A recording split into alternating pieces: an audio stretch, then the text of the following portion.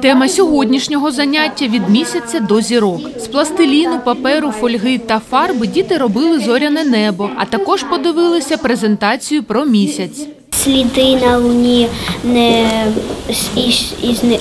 не, зникають, тому що повітря там немає і вітру.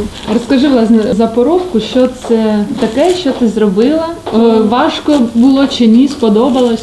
Е, Так, мені сподобалося, було легко.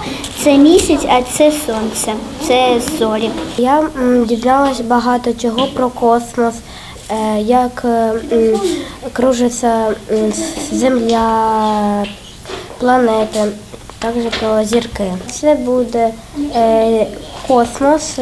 Я роблю луну, це сонце, а це зірки. Було цікаво все послухати. Що запам'ятала саме про місяць? Те, що місяць, е, те, що він так крутиться і може то старіти, то на, на, наоборот е, рости.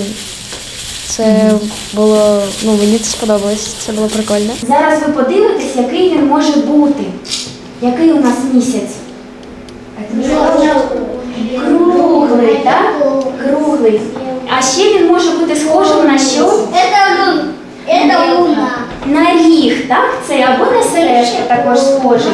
За словами викладачки проєкту Бібліофан Ірини Павловської, завжди роблять для дітей огляд книг та читають із ними нові твори. Під час карантину працювали дистанційно. Нині є можливість зустрітися офлайн та влаштувати інтерактивний захід.